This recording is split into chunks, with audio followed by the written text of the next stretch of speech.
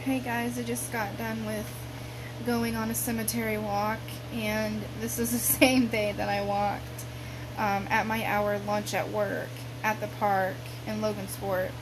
And then I came home and I went on a short, like maybe 10 minute walk with me and my husband and my Dexy girl, my Chihuahua, and then we came home and ate and I'm still flushed from working out. Um, I've always been like that, just, you know, even when I was less weight. So when I played softball, my face was always red, you know.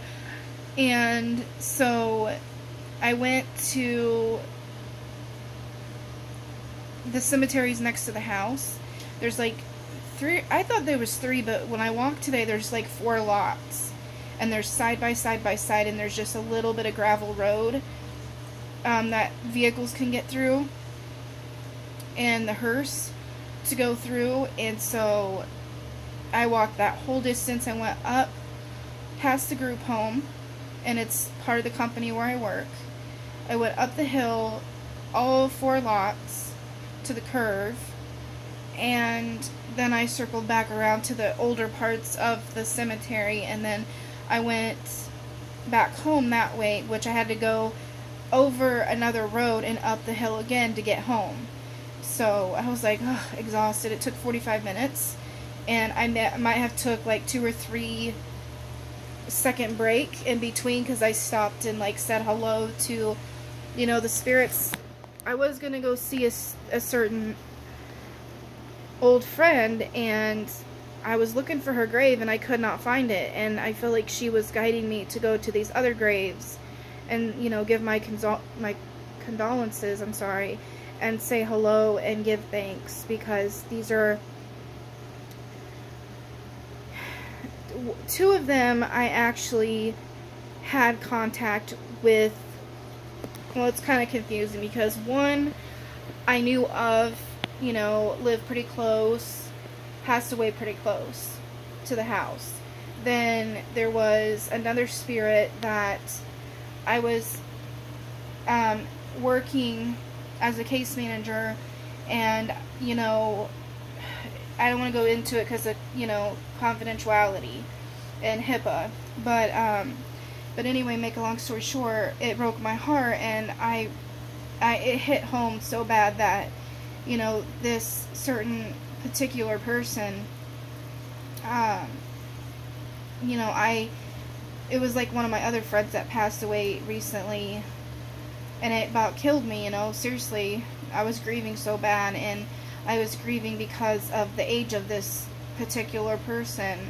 And make a long story short i was in contact with the mom and this person was going to be on my caseload this this this client um, at my case manager job, and you know this was a young child, and um, it's awful. And anyway,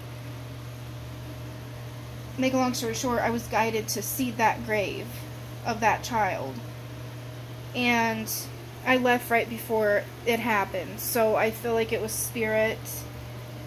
I don't know. I probably would have had a mental breakdown. Honestly, I can't tell and then the other person I actually had some memories with during school. And so I went to that person's grave and thanked them for helping me out with a science project. You know, because I didn't know what was going on, and this person helped me through it. And um, so all three of them were had a place in my heart, in my spirit, and in my journey. You know, not just as a medium, but as just a human being, and just you know understanding how life works and it's unpredictable, so I wanted to go pay my respects. And it's weird because I didn't know that these three individuals were buried there, but they told me to go exactly, you know, exactly where they were buried. Like, I went past several thousands of graves, you know, and they told me, start from the left, go to the right, and then you're going to take this gravel road and you're going to go a certain amount of steps and you're going to stop and you're going to look and that was like boom boom boom all three of them and I was just like I almost like I had a bunch of knots in my stomach and I wanted to vomit you know? Um, and I just wanted to like honestly just break down and cry. Uh, but I knew that was my grief, some of it, some of it was their grief, and some of it was the loved one's grief. So, you know, I, I just prayed to God that I absorbed some of that pain and that I can transmute it later and I could give the healing and the direction that those people need, those spirits and those individuals still living on this earth for them and thinking of them, you know.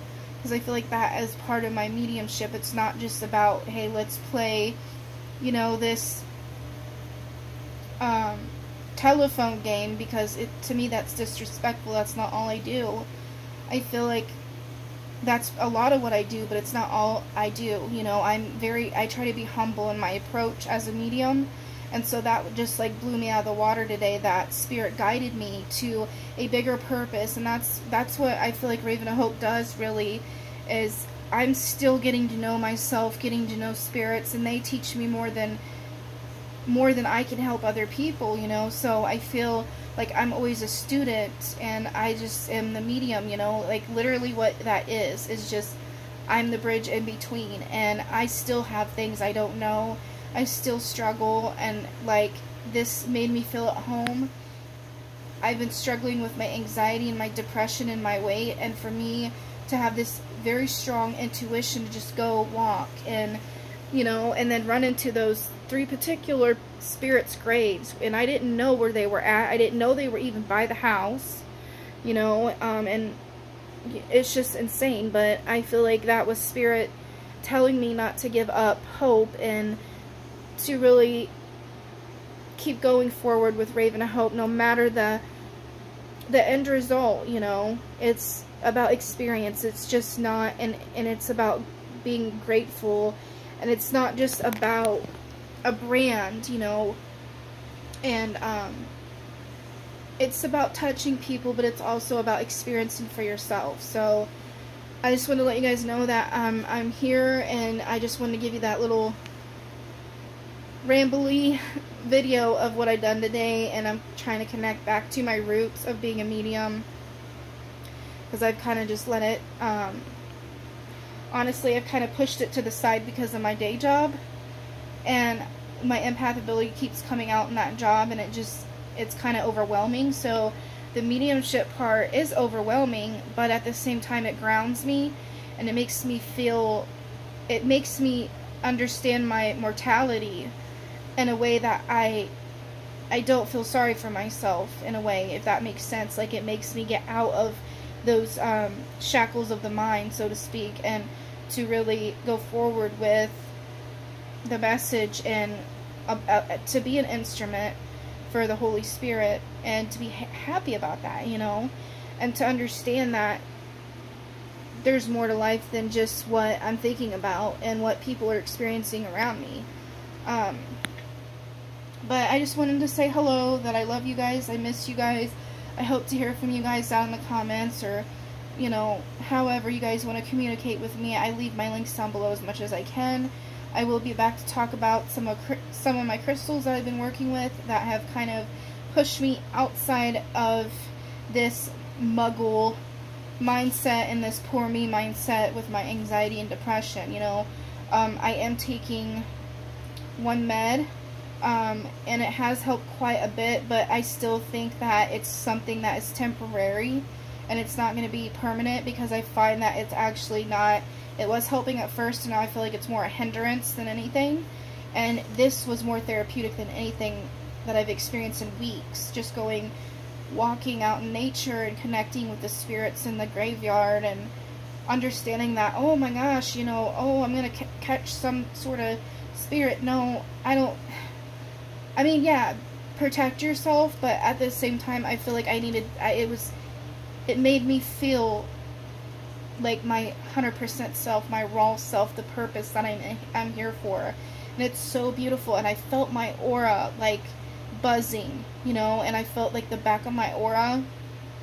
Um, and I felt the spirits following me and ushering me through where they want me to go. And I made a joke to my friend, and there's steps, and then it kind of goes down.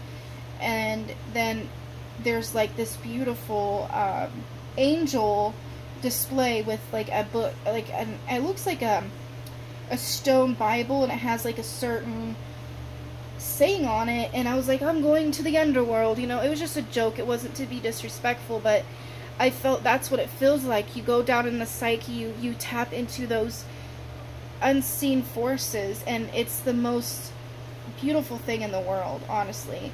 My spirituality is my savior, is my my healer, is my everything. Like I would be mentally insane if I didn't have my spirituality, like seriously. Of course love and then you know, the natural things like the actual wants and needs as a human, but as a transcending into a um, energetic being. I need my spirituality. That's what taps me in. Some people it might be, I, I don't know, games or it could be um, makeup or, you know, because I do believe all that has the same vibration. But for me, the vibration is my spirituality.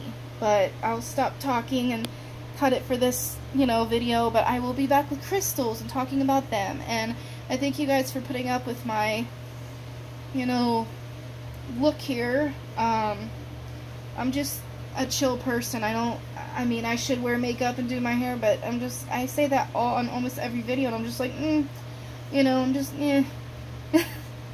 so, um, maybe one day, one day, guys, if you watch some of my videos, you'll see that I do, I do makeup, you know, but I just don't do it, like, very well. But I thank you guys again for connecting, watching, and supporting the channel. Please let me know if you guys want to do collaborations, if you want me to review some of your products, I'd be happy to do that. Um, anything like that. Or just want to talk or you know, want to do a switcheroo, like I say, like I like to do that. I like to promote other people's businesses that I believe in. And I also like to do switches because I believe it's important to spread that good energy and good karma, or even good juju, so to speak, and not if you don't believe in karma. Um, that's what I like to do, guys, and I thank you again for watching, listening to me blab, and I hope to talk to you guys soon. Blessed be, and God bless.